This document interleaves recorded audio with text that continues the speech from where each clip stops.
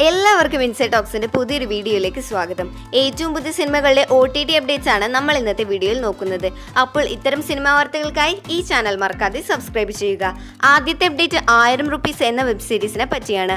അങ്ങനെ കാത്തിരിപ്പിനൊടുവിൽ എസ്മ സീരീസ് എന്ന ഒ ടി ടി പ്ലാറ്റ്ഫോമിലൂടെ വീണ്ടും ഒരു മലയാള web series O T T റിലീസിന് എത്തുകയാണ്.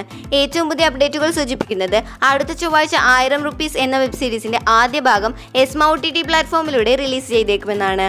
അടുത്ത update my name is Azhakan എന്ന സിനിമയുമായി ബന്ധപ്പെട്ടതാണ്. ജാഫർ ഇടുക്കി ശരണ്യ ടിനി ടോം എന്നിവരെ പ്രധാന കഥാപാത്രങ്ങളാക്കി നൗഫലിന്റെ സംവിധാനത്തിൽ ഒരുങ്ങിയ ചിത്രമാണ് മൈ നെയിം ഇസ് അഴകൻ. ചിത്രത്തിനൊരു ആവറേജ് അഭിപ്രായമാണ് തിയേറ്ററിൽ നിന്നും ലഭിച്ചത്. ഇപ്പോഴിതാ ചിത്രത്തിന്റെ ഒ ടി ടി റൈറ്റ്സ് വിറ്റുപോയിരിക്കുകയാണ്. സി ഫൈവ് എന്ന ഒ ടി ടി പ്ലാറ്റ്ഫോമാണ് ചിത്രത്തിന്റെ ഒ ടി ടി റൈറ്റ്സ് സ്വന്തമാക്കിയിരിക്കുന്നത്. നവംബർ ഇരുപത്തിയഞ്ചിന് സി ഫൈവിലൂടെ ഒ ടി ടി റിലീസ് ചെയ്യുമെന്നാണ് ഏറ്റവും പുതിയ അപ്ഡേറ്റുകൾ സൂചിപ്പിക്കുന്നത്. അടുത്ത അപ്ഡേറ്റ് കുമാരി എന്ന സിനിമയെക്കുറിച്ചാണ് ഐശ്വര്യലക്ഷ്മി ഷൈൻ ടോം ചാക്കോ എന്നിവരെ കേന്ദ്ര കഥാപാത്രമാക്കി നിർമ്മൽ സഹദേവ് സംവിധാനം ചെയ്ത ചിത്രമാണ് കുമാരി. ചിത്രത്തിന് തിയേറ്ററിൽ നിന്ന് മോശം അഭിപ്രായമാണ് ലഭിച്ചത്. ബോക്സ് ഓഫീസിൽ നിന്നും ചിത്രത്തിന് ഒരു കോടി മാത്രമാണ് നേടാൻ സാധിച്ചത്. എന്നാൽ ഇപ്പോഴിതാ ഡിസ്നി പ്ലസ് ഹോട്ട്സ്റ്റാർ ചിത്രത്തിന്റെ ഒ ടി ടി അവകാശം സ്വന്തമാക്കിയിരിക്കുകയാണ്. ഡിസംബർ രണ്ടാം ആഴ്ചയിൽ ചിത്രത്തിന്റെ ഒ ടി ടി റിലീസ് ഉണ്ടാകുമെന്നാണ് നമുക്കിപ്പോൾ അറിയാൻ സാധിക്കുന്നത്. അടുത്ത അപ്ഡേറ്റ് കാന്താര എന്ന മൂവിയുമായി ബന്ധപ്പെട്ടതാണ്. കഴിഞ്ഞ മാസം തിയേറ്ററുകളിൽ റിലീസ് ചെയ്ത കന്നഡ ചിത്രമാണ് കാന്താര. ചിത്രം മലയാളം തമിഴ് ഹിന്ദി തുടങ്ങിയ ഭാഷകളിലും റിലീസ് ചെയ്തിട്ടുണ്ടായിരുന്നു. വളരെ മികച്ച അഭിപ്രായമാണ് ചിത്രത്തിന് ഇതുവരെ ലഭിച്ചിരിക്കുന്നത്. ഇതിനോടകം തന്നെ മുന്നൂറ് കോടിയിലധികം ബോക്സ് ഓഫീസ് കളക്ഷൻ ചിത്രം നേടിക്കഴിഞ്ഞു. അതുകൊണ്ട് ഏവരും ചിത്രത്തിന്റെ ഒ ടി ടി റിലീസിനായി കാത്തിരിക്കുകയാണ്.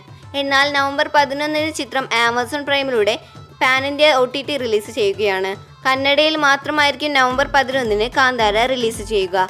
നവംബർ ഇരുപത്തി എട്ടിനായിരിക്കും മലയാളത്തിലും മറ്റു ഭാഷകളിലും ചിത്രം റിലീസ് ചെയ്യുന്നത്.